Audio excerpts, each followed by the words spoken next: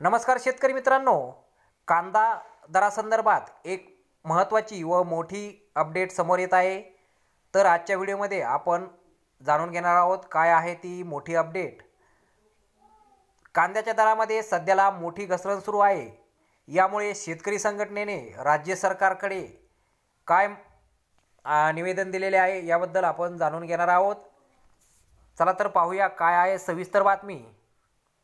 गेले काही दिवसांपासून सातत्याने कांद्याच्या दरात मोठी घसरण होत असल्याने शेतकऱ्यांचा कांदा तीस रुपये प्रति किलो या दराने सरसगट खरेदी करून हा कांदा परराज्यात व परदेशात पाठवावा व कांदा उत्पादक शेतकऱ्यांना दिलासा द्यावा असे निवेदन महाराष्ट्र राज्य कांदा उत्पादक शेतकरी संघटनेने निवेदन निवासी जिल्हाधिकारी यांना दिले.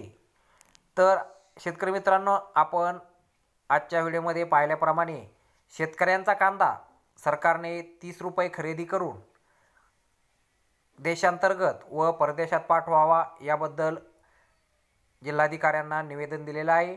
या निवेदनात म्हटले आहे की कांदा भावाची घसरण झाल्याने महाराष्ट्रातील कांदा उत्पादकांचे मोठे आर्थिक नुकसान होत आहे. सध्या कांद्याला जो दर मिळत आहे त्यामध्ये उत्पादन खर्चही निघणे मुश्किल झाले आहे. साठवणूक केलेल्या कांद्यामध्ये सड होण्याचे व वजन घटण्याचे प्रमाण जास्त आहे. त्यातच आता कांद्याला दर कांद्याचे दर बारा ते पंधरा रुपये प्रति कि किलो इतके खाली आल्याने राज्यभरातील कांदा उत्पादकांमध्ये मोठी संतापाची भावना असल्याचे म्हटले आहे. हे निवेदन देताना महाराष्ट्र राज्य कांदा उत्पादक शेतकरी संघटनेचे अध्यक्ष भारत दिगोळे भाऊसाहेब केदार अनिल दिगोळे नितीन गीते विजय दिगोळे उपस्थित होते. तर धन्यवाद शेतकरी मित्रांनो व्हिडिओ शेवटपर्यंत पाहिल्याबद्दल व्हिडिओ आवडल्यास व्हिडिओला लाईक करा शेअर करा चॅनलला सबस्क्राईब करा. पुन्हा भेटू एका नवीन व्हिडिओमध्ये. जय जवान जय किसान.